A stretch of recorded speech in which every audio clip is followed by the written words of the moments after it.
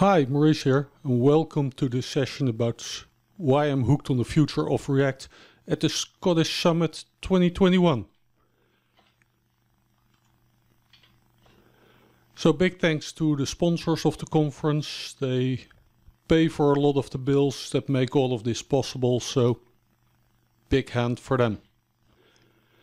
So who am I? My name is Maurice de Beijer. I'm the problem solver I'm an independent software developer, trainer, lead developer, uh, troubleshooter, architects, uh, whatever is needed. And you can follow me on Twitter at, at MauriceDB. So I'm going to share these slides on SlideShare and I'll tweet uh, that. So if you want to get a copy of these slides, just take a look on my Twitter feed after this session and you'll find them there. So what are we going to talk about in this session? Well, I'm going to start with a bit of a history, stuff we can use today, which keeps me excited about React, stuff about how we create components, work with asynchronous data, and a feature called suspense. And then the second part, I'll look at the future, where we'll be able to use concurrent rendering. Uh, I'll zoom in on a couple of details about concurrent rendering. Of course, why we need it in the first place, but some of the details. And then even further in the future, server components. Now the stuff on the left today, you can use today, as the name kind of suggests. It's released, it's available, and some of it is actually pretty common already. The stuff on the right, the future, is not released. You can use that in experimental versions of React but it's not available in the regular version of React. Concurrent rendering, um, you can play with. I would not recommend you use it in production. Server components are really, really new. Uh, there is just one sample out there. And to be honest, I couldn't even get it to run on Windows. Uh, so it's really, really brand uh, new and cutting edge and nowhere near being able to use, but still a very interesting move in the future. So a bit of history with React components.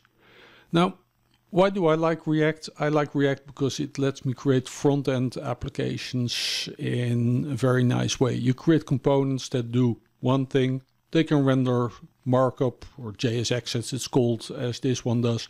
They can render other components, so you can kind of build an application out of a tree of components. And the traditional way to do that is create classes. Well, actually, there was another API before ECMAScript 2015 classes uh, came around, but most people would have started with ECMAScript 2015 classes. And they look something like this. I've got a class greeter extends component from React and and it defines some props. Um, this is TypeScript example. And it has a render function which basically decides what should be rendered. And that's fine, that's simple. Uh, don't really need a complete class if all you need is a function, but quite often you'll have more in there. And that used to be the main way how we would create components. But class-based components have some problems.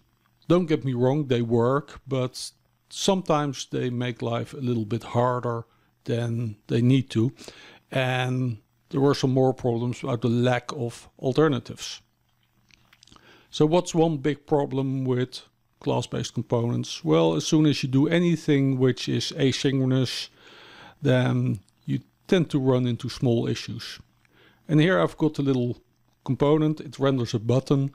If you click that button, then the onClick should run, but I actually just noticed that I left out the handler in the render function on the button. So imagine that's there.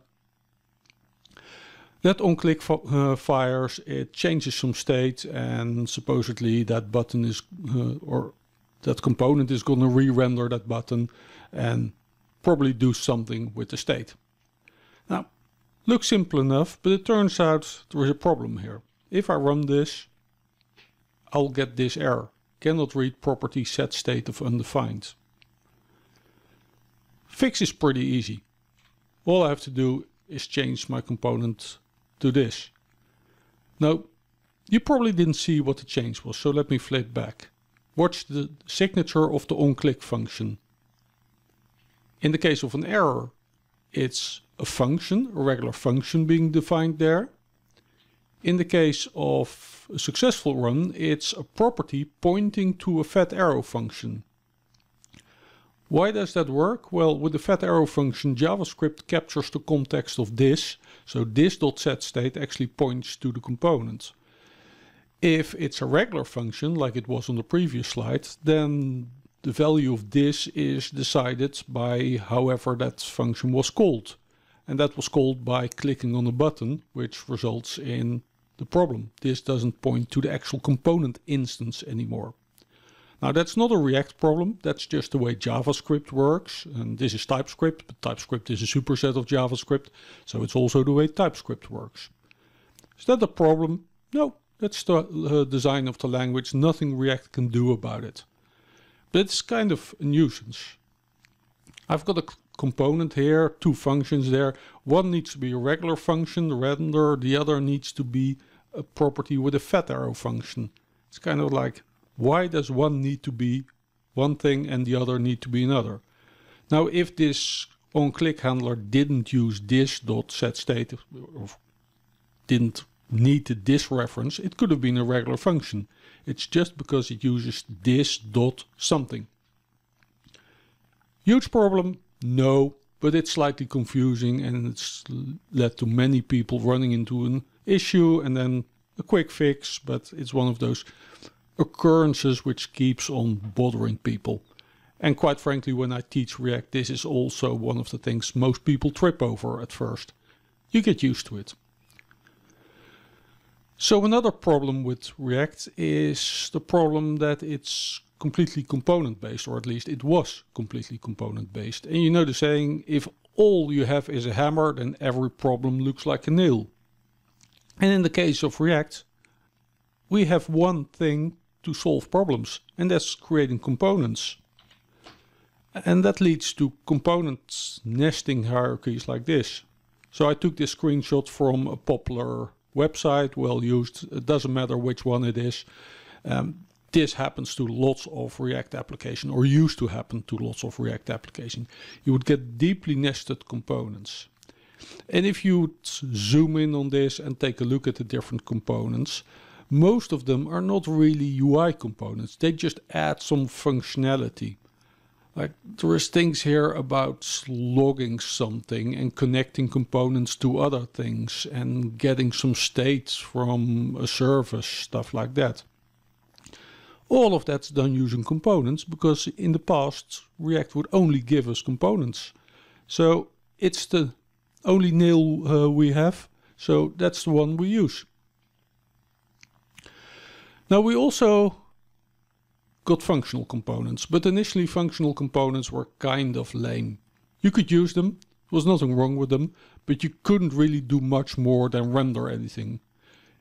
You wanted to do any asynchronous work and have some state management there, ah, functional components wouldn't do it. So it was kind of components light, uh, but very limited, and they didn't get a lot of traction like they worked for what they could do, but what they could do was very limited.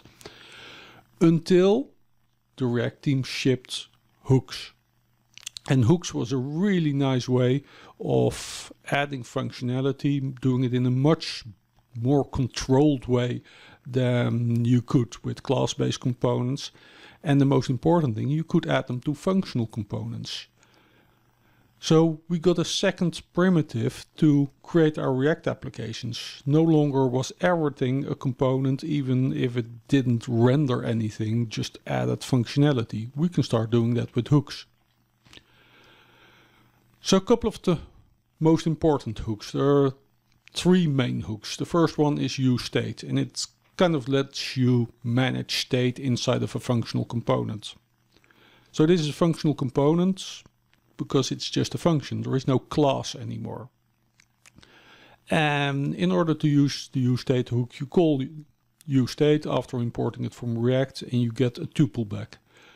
So the tuple consists of two parts. The first is the actual state being managed. In this case, it's the number one initially. That's the initial state. Uh, so we're just managing a single number. And the second part of the tuple is an updater function. I call it set count in this case. So I can just use that count, I can increment it, I don't need to worry about the this reference, that doesn't exist anymore because we're no longer in a class and it's much easier to use. UseState is also more flexible than the traditional set state. Set state was always an object, um, here I can do whatever I want. I want a primitive, a number like this or a true false boolean, fine, no problem, use it. I want a richer object, say a person object with a first name, last name, then I use useState with an object. It doesn't matter. I want to manage different pieces of state in my component. I don't have to combine it into one, like I did with the class-based component. I just add multiple use states and React keeps track of it, which is really, really nice. Makes it very easy to work with.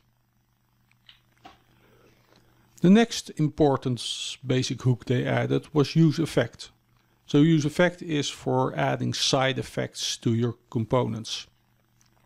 In this case we've got some state which is about the current time and we've got an updater function set time and then inside of the use effect we're going to do a side effect. We're going to call set interval and basically wait uh, for whatever the interval is specified and update the time, the state time in our component anytime we do, the component will be re-rendered and it will, render some analog clock, whatever that looks like, with the current time. Now this is really nice. Uh, I, again, I can use as many use effects inside of my component as I need to, so I don't have to combine everything into one uh, lifecycle function like I did with class-based components, so it's much more modular. The second argument for use effect is the dependency. So in this case, our effect depends on one external thing, the interval, the amount of milliseconds to wait. As long as that doesn't change, the effect isn't reinitialized. But when it does, it's reinitialized, we start a new set interval. This use effect also returns a function, which is the cleanup function. That's optional. You can have it if you want to. If you don't need it, you can just leave it out and not have a return statement at all. But in this case, before a new effect would be initialized if the interval changed, we first clear the original one and then we start a new one. Sharing data between cleanup and setup is easy. All you do is just use a local variable here, the handle. So much, much easier. Keep in mind if you use effect, you should always use that second argument, which specifies the interval here. If you leave out the second argument, it is officially optional, but it means that your use effect will fire every render. And that is very rarely what you want. Maybe it should fire often, but then you should typically still add all the dependencies there. So the second argument, the dependencies are kind of required. Another thing they added is a context hook. And React Context has always been hard to use and it's gone through several iterations. The original context was really hard to use.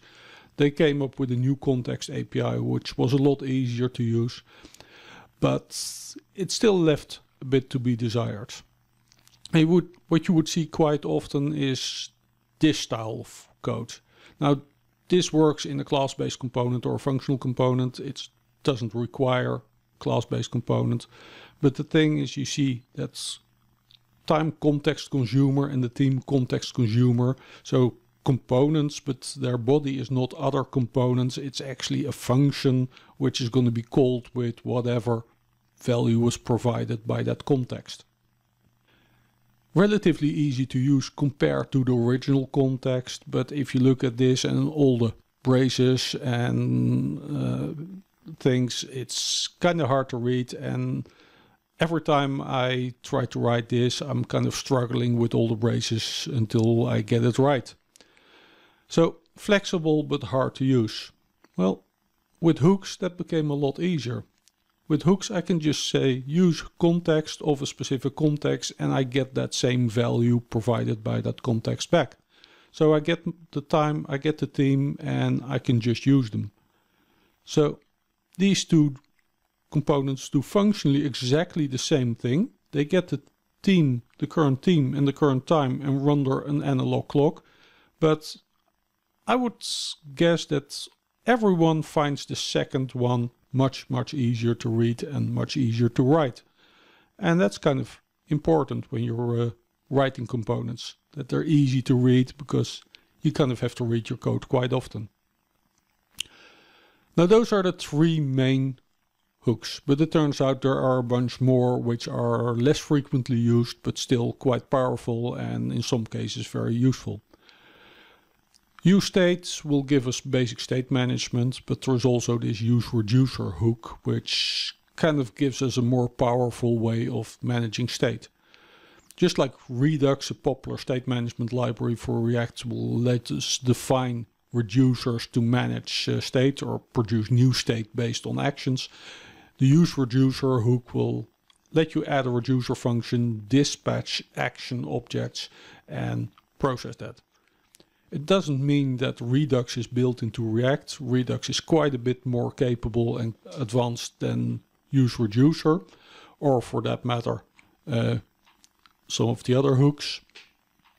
But it makes more advanced cases quite possible. I don't use it often, but I do use it occasionally. Use callback is another interesting hook. Quite often you'll have to pass callback functions into child components and you want to only re-render those if the props actually changed. Well, if you just pass in a function reference, uh, which is defined in a functional component rendering, it's going to be a new reference every time. So using use callback, you can actually wrap that and make sure that the same reference is passed as long as nothing has changed. So we'll give you a stable reference. Use memo will let you do a, si a similar thing with values. You can memoize values and suppose you want to pass in some object with some values. Well, you can create the object once and use the same object as long as the values haven't changed. And the values change, then the object you get. Use ref is another nice one. Uh, it's originally intended to get references to DOM objects or other React child React components. But it's actually a very nice way. It has a once you create a useref, you get an object which has a current property and you can put whatever you want on there. So you can do some state management. When would you want to use useref over use reducer or use state? Well, with use state and use reducer, if the state changes, the component automatically re-renders which is great if that component depends on that state. It actually uses it to render something. But if you're only maintaining state for some behind the scenes purpose and it doesn't actually show up in the UI, then changing it doesn't mean you want to re-render your component. Well, in that case, useref is a great addition. Some more interesting ones. Uh, use imperative handle. I don't think I've ever used that in an application. So quite rare. Um, use layout effect is kind of like use effect only slightly earlier uh, in the life cycle. So use effect is asynchronous. Use layout effect also is, but it fires sooner.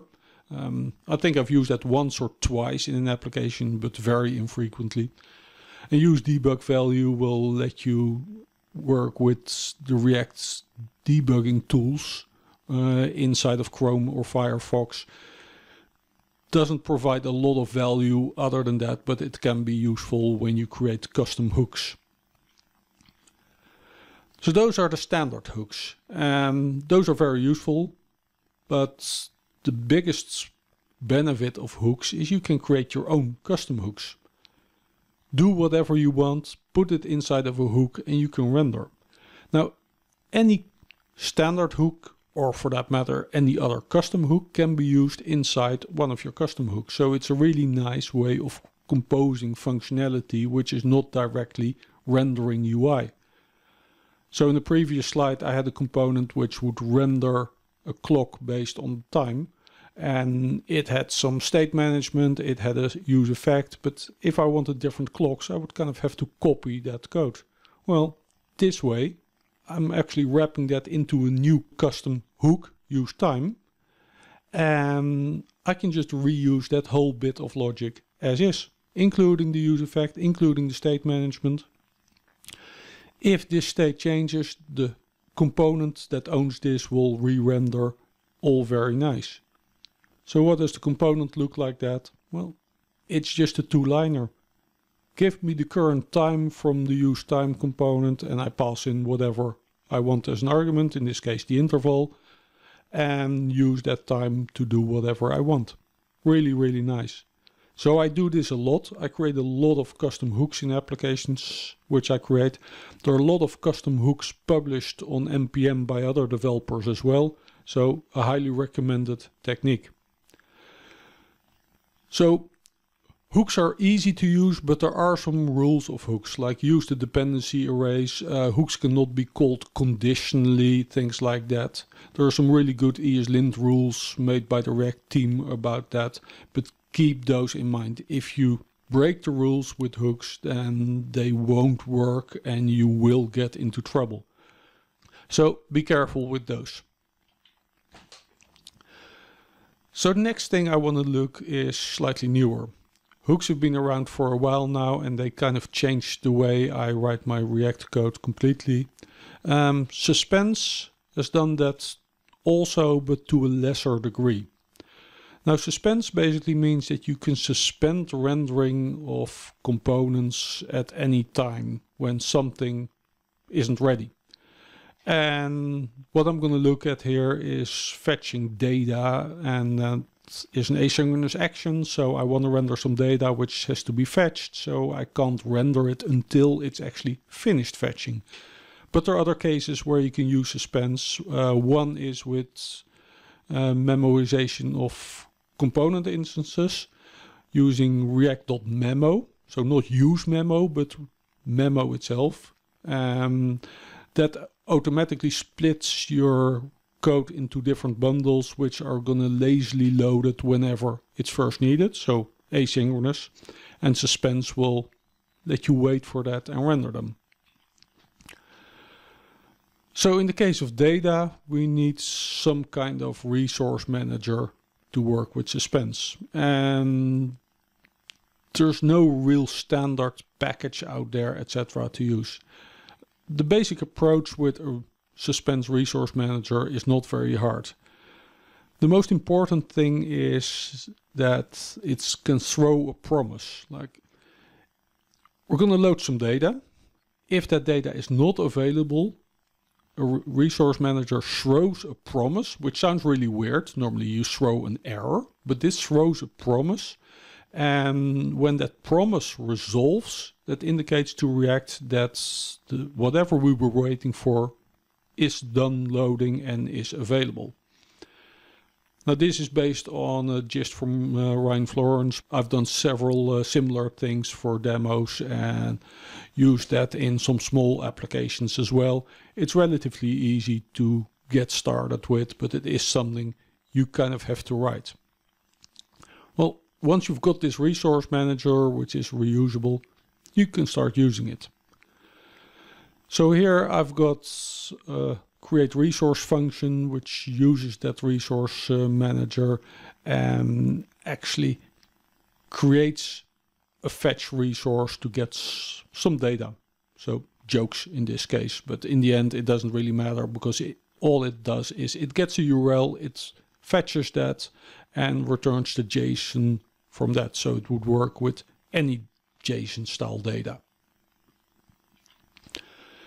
Inside our components, we just call that jokes resource.read and it returns some data or it throws a promise or if something went wrong, there was an error, it throws an error. Now, the first time it's going to start a fetch request, so it's going to throw a promise that it's not done yet. React is going to catch that and it's basically going to suspend this component and as a result it's children and it's going to wait for that promise to resolve. When that promise resolves, it's going to render this component again. But the jokes resource.read now returns an object or an array in this case, it's a joke array. So it gets some data and it will start rendering. Notice there is no state management. There is no is loading, there is no error state, etc. All of that's taken care of by React itself and by the resource manager. So my asynchronous components are a lot easier. And I've got my array of jokes and I just render them. Simple. So what happens with an error if the jokes resource throws an error? Well, what happens with errors in other cases when you render components? You need an error boundary to catch them or the component tree is completely unmounted. So same thing here. You add an error boundary at a higher level, it will catch any error and you can do whatever you do in an error boundary. Display the fact that there was some error, maybe you have a retry button, something like that. So how do we deal with the case of the data initially being loaded? Because this suspends the rendering, but how do we actually show some kind of loading indicator or do that? Does React do that for us? No, because it doesn't know what we want to render. So just like the error boundary has it to be at a higher level, we also need a suspense component at a higher le level. And the suspense component is actually a boundary where your rendering will suspend. So that can be a direct parent, it can be several levels up. Uh, you can nest suspense components if you want to. It's just a matter of how you want to use them. You can have multiple resources suspend inside of one suspense component. You can have multiple parallel suspense components. It's just how you decide to create your component tree. Very flexible. So an example might be as simple as this. I've got an error boundary where I've display some fallback UI in case of an error. Uh, I've got a suspense boundary where I display a loading indicator. And the error boundary here is a custom component, but the suspense component is a standard React component. So I just imported that from React. The loading indicator again is what I want. So that displays whenever something inside of that suspense component suspended rendering. And whenever the suspension is lifted, whatever was needed to be done is done, then the fallback UI is automatically removed and the original jokes UI is going to be rendered again. Really nice.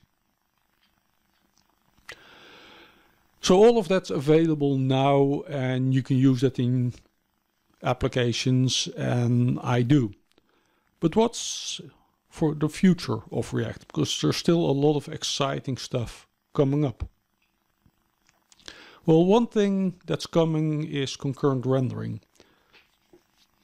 And concurrent rendering is not new in some respects. It's not been released yet, but they've been showing it and announcing it for quite some time.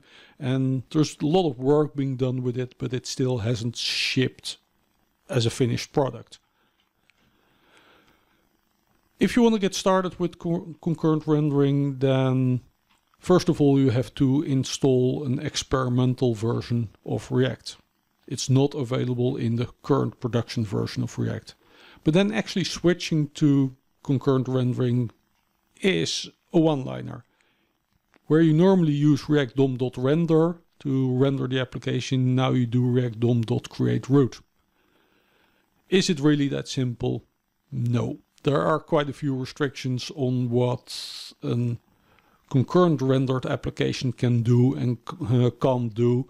Um, there's new stuff which becomes available to you. There is some older stuff which is no longer available in concurrent uh, mode.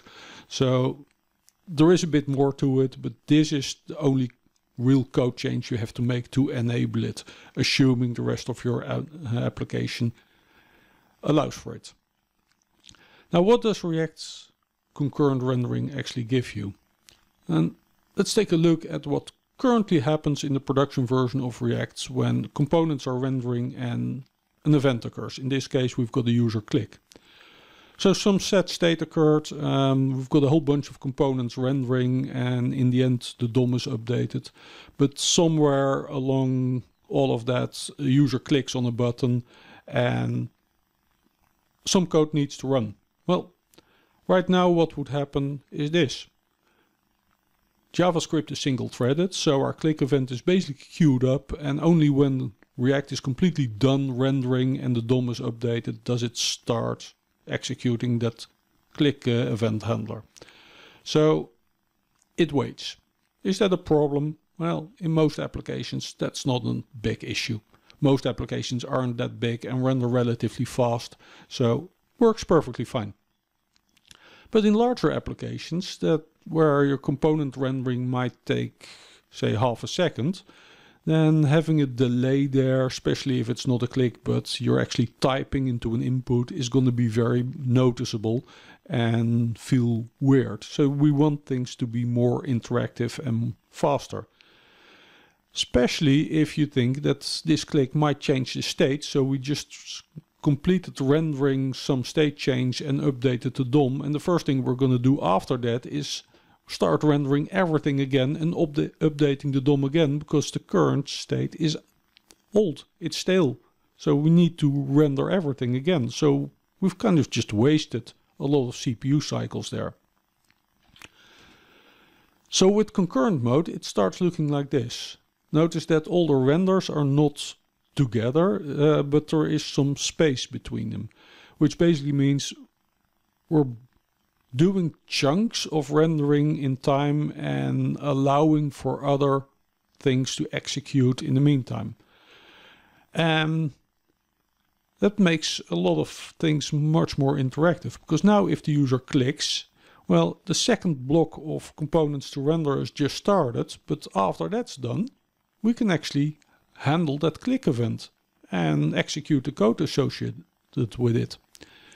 That means if we do another set state in there, we can actually prevent all the other unnecessary renders and DOM updates. We can say at that point, okay, well, let's abort the current render and start a new one. So we've saved quite a bit of time.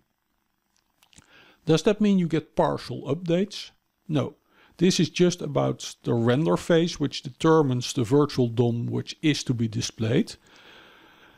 The actual updating of the DOM, so diffing the virtual DOM against the real DOM and applying the changes, that's still an atomic phase at the end. You won't get into the middle of that, so you'll never have a partial DOM update, which is then super superseded by a new event. This is only for the render phase where side effects are affected, the render function uh, or functional components rendering itself is affected, not the actual updating of the DOM. But it does mean you have to be somewhat careful. Suppose you've got use effect and you haven't been careful with the second argument dependencies, you might start doing multiple fetch requests just because the component is rendered multiple times and uh, some side effect occurs multiple times if you do things wrong. So it requires some more care when developing components. There are several things you can start doing with concurrent rendering. And I actually want to demo a few. Um, where's my browser? Here. So I've got a list of users here. And if I click on the details, and that one was already loaded so let me click on another one. There. You can briefly see two spinners. Let me do that again with search user. In this case we didn't see two spinners so let me do this again. You see two spinners and then the bottom one actually resolves first and the second the top one reserves resolves as a second. That's because that component looks like this We've got the user details and I'm loading some details about the user itself and some details about his favorite movies. And they're both in a single suspense object, so each can suspend itself. Well, with the current production version of React, that's all we can do. But with the newer version of React, with concurrent uh, rendering, we can start using a suspense list. And in this case, I can say, okay, combine the different suspenses and reveal them for in forwards order. So only reveal the second if the first has resolved. And by tail collapsed, I'm saying, okay, if the first is showing a fallback uh, UI, don't show the fallback for the second. Only show a single fallback UI. So if I go back to my list of users, make sure none of them are cached. I click. Now I see a single spinning indicator and the whole UI shows up in one go, which is nicer.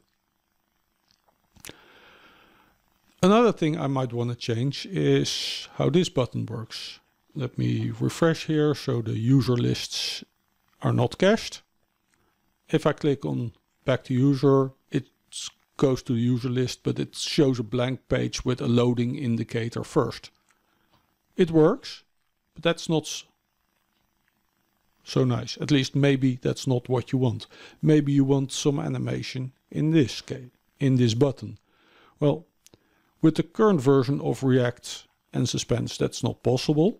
But again, with concurrent rendering, I can start a hook called use transition. And now inside of my click handler, I can uh, say, okay, I want to navigate to the users list, but inside of a transition.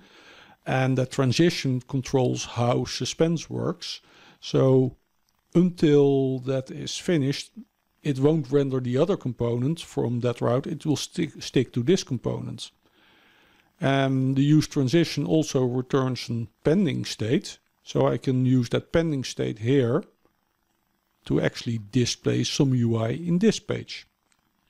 So if I go back here, make sure we're in a clean state, I click back to users, I get a spinner there, and then I'm navigated to the users list when that's loaded. So it, the code actually navigated to the users list, but the UI is not updated until that actually is finished uh, loading its data.